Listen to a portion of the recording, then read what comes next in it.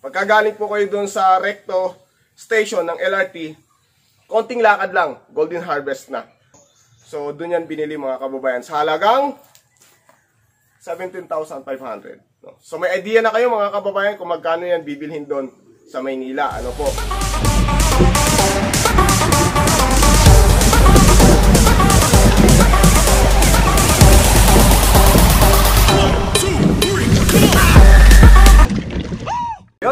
Kababayan, masayang masaya tayo kasi kasi kasi nandito na yung makina ng bangka natin, yung bagong bangka natin. Yes! The engine of our new boat has arrived. It's here. And it's a Robin engine EY 28DM. Mga kababayan, yung M stands for Marine. No? So, pagka bibili kayo niyan doon sa Maynila ay uh, makikita nyo EY 28D or EY 28DM. No, yung M po ay uh, pang dagat marine. Ginagamit natin yan sa bangka. No, kasi ito yung pinaka cost effective, mura mga kababayan, no. So, uh, dito bihira yung gumagamit ng mga outboard motor kasi mahal nga po. So, uh, replacement dun sa mga outboard motor ay ito yung ginagamit natin. Tara mga kababayan, bubuksan natin no, para makita nyo. Yan, bubuksan natin. So,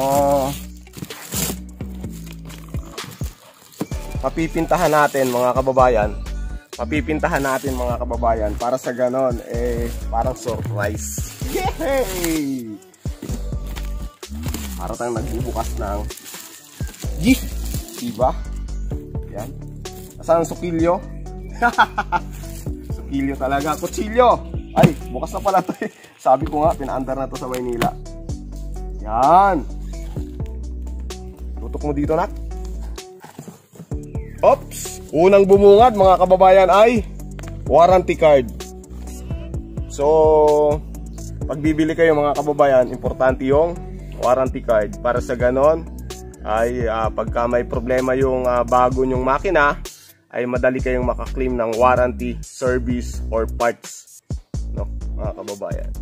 Importante yan pag bibili kayo. Then, pangalawang, ito na mga kababayan. Ops! Tambucho, stainless steel exhaust pipe. No? Kasi sabi ko nga, this is a uh, EY28DM Marine. So, kailangan natin ng stainless steel para sa ganon, uh, not easily broken by uh, by rust, no? by salty waters. Yan. Yan, dyan na yan. Next item is the manual. Importante mga kababayan yung manual kasi dito nyo makikita yung specification. Pagkatapos dito rin nakikita yung mga instruction, mga um, mga how to start the engine, how to uh, maintain the engine, no? So yung mga service na importante nandito how to change oil. Basta nandito lahat. So dito sa manual mga kababayan ay merong mga spring tapos nandito yung kunya. Kabuksan natin. Yan, ito yung gasket doon sa exhaust. Tapos, dito ako para hindi ako nahihirapan. Yan. Ito yung kunya doon sa uh, propeller. Doon sa may uh, shaft propeller. Tapos naandito yung mga tornilyo. Yan, dalawa. Nandito yung spring. Hindi ko alam kung saan gagamitin yung spring. May nakalagay naman sigurong instruction dyan. So, yan po ang kasama ng manual. Manual, mga babasahin. So, in case you need to have, uh, in case you need to uh, consult the uh, manual, ay dapat readily available yung manual. No? Then, Another one, so mga styro. Yan. Mga styrofoam. Yan, styrofoam. Ay, hindi pala, pala carton. Mga yan, styro. Isa na natin yan. Para lang protection yan habang binabiyahe. Okay. Of course, we have our tools, no? Importante din. Uh, this is a sp spark plug wrench. No? Only spark plug wrench. Yan, we have now the engine. Tanggalin muna natin yung plastic. Yay! Hmm, mga kababayan. Bagong bago. Hmm, amoy bago mga kababayan. Okay, pull out na natin. Nak, hugutin mo yung karton pababa. Aalsahin ko yung makina. 1, 2, 3. Okay. Alis mo yan. Yan. Uy! Mukhang powerful ah. Tatabi natin to. Wala yung ano.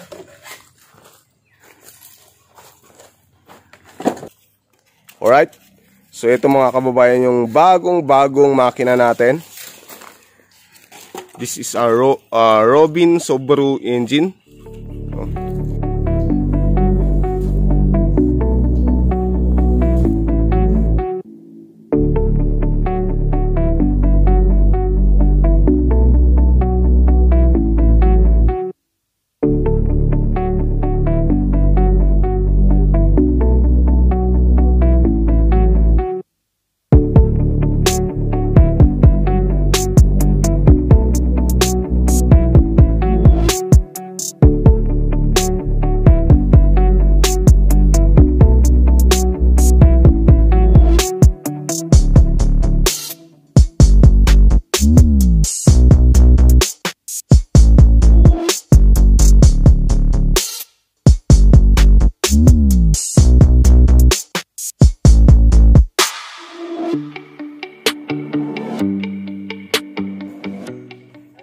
Ito na po yung ah, bagong-bagong makina natin, the ah, Robin E EY28DM mga kababayan. So, as you could see, it is ah, 7.5 horsepower mga kababayan. No? Ah, this is the ah, fuel tank. Fuel tank capacity is 5.5 liters. So, mahaba-habang biyahe na rin yon, no, mga kababayan. This is the front.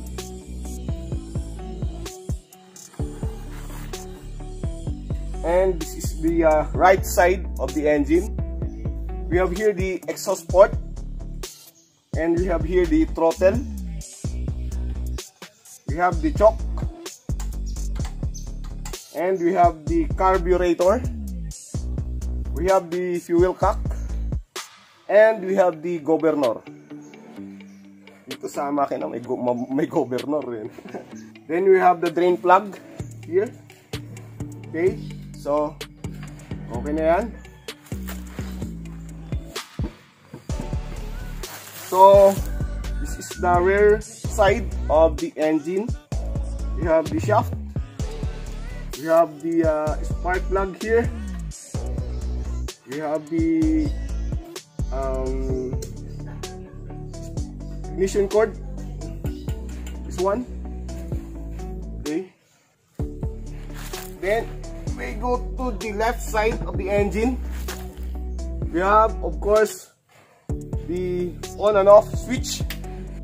You can easily switch off the engine by uh, pushing here by pressing here. Okay? Okay.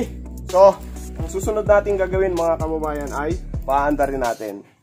So bago natin paandarin mga kababayan ay sisilipin muna natin kung meron siyang langis kung tama yung langis niya, then kung may gasolina. Meron, meron. Hindi nila tinanggal lahat mga kababayan sa biyahe. Delikado ah. Baka mo masobrahan ng pressure dun sa loob ng tracking, no? Sa loob ng uh, truck. Uminit ng todo. Tapos biglang boom! Sumabog na ng bigla. So yun, mga kababayan, tingnan na natin kung may uh, lamang oil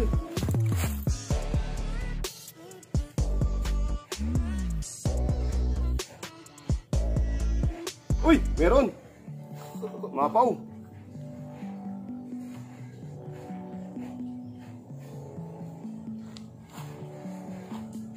Baka nga doon ng pamunas, nak. Umapaw. So akin na yung kartonak. No, no, no. This one. I-ano natin dito. Okay? Lagay mo, lagay mo. Bubuhatin ko yung makina. Lagay mo. Okay, paanda rin natin mga kababayan. Yan. Paanda rin na natin.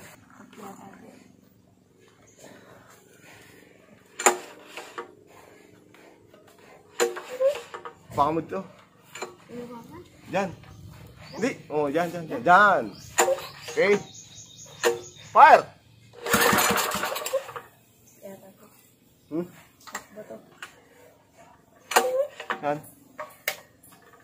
Fire! Konti lang. Fire!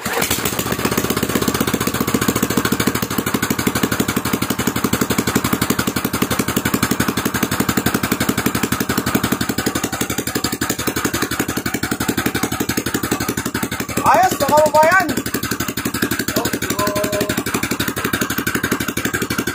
Pwede, pwede na. puluh ri lebih kaya pas buya ti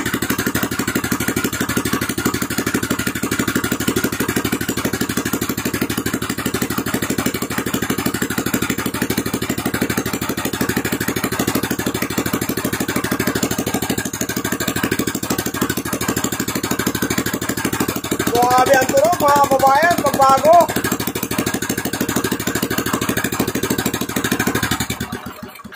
Ayan mga kababayan, so that's a Robin engine, EY28DM mga kababayan. Power. Panglaban yan sa habagat, kasi habagat na ngayon. So nabilin po ito sa Golden Harvest, dyan sa may ibang hilista, dyan sa Raon, sa Quiapo, Manila. Pero yung ah, distributor po ng Robin engine, Subaru, ay dyan po sa may ah, Magallanes Street, sa may Intramuros, Manila. Solanda Enterprise.